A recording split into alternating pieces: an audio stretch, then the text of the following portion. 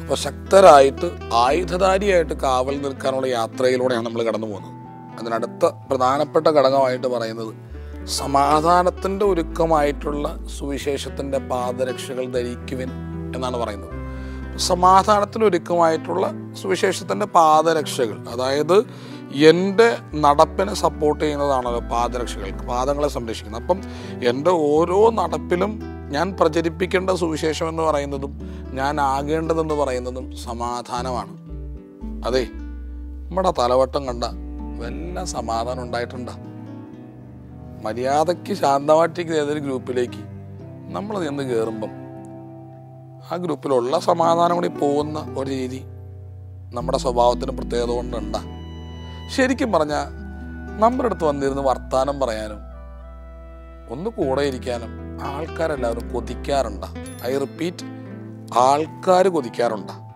അല്ലാതെ ചുമ്മാ നമ്മൾ ആരെങ്കിലും ലോക്കിട്ട് വെച്ചിട്ടുണ്ടെങ്കിൽ ആൾ കൊതിക്കും. അതല്ല ഉദ്ദേശിക്കുന്നത് അതല്ലാതെ നമ്മളെ കാണാനും നമ്മളെ കേൾക്കാൻ അച്ഛനാവണം നിർബന്ധമൊന്നുമില്ല. അച്ഛനാവണം നിർബന്ധമൊന്നുമില്ല. എനിക്കറിയാവുന്നവരുണ്ട്. എന്റെ എന്റെ കൂട്ടുകാരുണ്ട്. എന്റെ കൂടെ ഉണ്ടായിരുന്ന സെമിനാറിനുണ്ടായിരുന്ന അച്ഛനുണ്ട്. എന്ത് വിഷമം വന്നാലും ഞങ്ങളൊക്കെ ചിലപ്പം പുള്ളിയുടെ അടുത്ത് പോയി പുള്ളി ഒരു ഹലോ പറഞ്ഞാൽ മതി. എന്നാണ്ട് വിശേഷം? വാ ചായ പിടിക്കാം ഇത്രേ പറയുള്ളൂ. പക്ഷെ നമ്മുടെ മനസ്സിലെ വിഷമം അങ്ങ് പോവും. എന്നാൽ വലിയ കഴിവുള്ളൊരു മനുഷ്യനല്ല. പാടാൻ കഴിവില്ല പ്രസംഗിക്കാൻ വലിയ കഴിവില്ല. ഒരു സാധാരണ മനുഷ്യൻ ചിരിക്കും. തമ്പരാന്റെ മുമ്പിൽ നിന്ന് പ്രാർത്ഥിക്കും. പക്ഷെ എന്തൊരു സമാധാനം എന്നറിയോ ഈ നോമ്പുകാലത്തിന്റെ അവസാനം നമ്മൾ ഈ ചിക്കൻ കഴിക്കാതിരുന്നും ഇറച്ചി കഴിക്കാതിരുന്നും വാട്സപ്പ് ഉപയോഗിക്കാതിരുന്നും അതിന്റെ ഫ്രസ്ട്രേഷനൊക്കെ കാരണം കുടുംബത്തിലെ സമാധാനം കളയുക എന്നല്ല ഉദ്ദേശിക്കുന്നത്. നമ്മുടെ ഫ്രസ്ട്രേഷൻ ഒന്ന് വേറെ ആളെ തലയ്ക്ക് അടിച്ചു കൊടുത്ത് ഉള്ള സമാധാനം കളയരുത്. അപ്പോൾ സമാധാനത്തിന്റെ തടസ്സമായി നിൽക്കുന്നത് എന്താണ്? അതാണ് ശരിക്കും പറഞ്ഞാൽ നമ്മൾ മാറ്റേണ്ടത്. ചില ബന്ധങ്ങൾ എന്റെ വീട്ടിൽ അറിഞ്ഞാൽ സമാധാനത്തിന്റെ തടസ്സമാണെങ്കിൽ അതാണ് മാറ്റേണ്ടത്. പക്ഷെ നമ്മളെന്താ ചെയ്യുക നമ്മൾ മാറ്റാൻ പാടില്ലാത്തതിനൊക്കെ അങ്ങ് മാറ്റിക്കളയും എന്നിട്ട് അതെടുത്ത് വയ്ക്കും ഉള്ള സമാധാനം തീരുകയും ചെയ്യും. അതോടുകൂടി സമാധാനം തീരും. അപ്പം അതുകൊണ്ടാണ് നമ്മൾ കണ്ടെത്തുന്ന സമാധാനം ഏതാണെന്നുള്ള ഏറ്റവും പ്രധാനപ്പെട്ടതാണ്. ചില കാര്യങ്ങളിൽ സമാധാനം കണ്ടെത്തേണ്ടടുത്താണ് സമാധാനം ഉണ്ടാകുക ഇപ്പം നമ്മൾ ജീവിക്കുന്ന വീട്ടിൽ സമാധാനമില്ല. ബാക്കി എല്ലാ സ്ഥലത്തും സമാധാനം ഉണ്ടാക്കിയതിന് എന്നാ കാര്യം?